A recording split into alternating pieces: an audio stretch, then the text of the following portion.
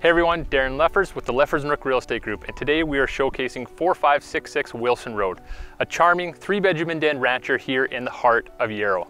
Your minutes to Cultus Lake and your minutes to the freeway, and you're right across the road from Yarrow Community School. Let's go see what this home has to offer.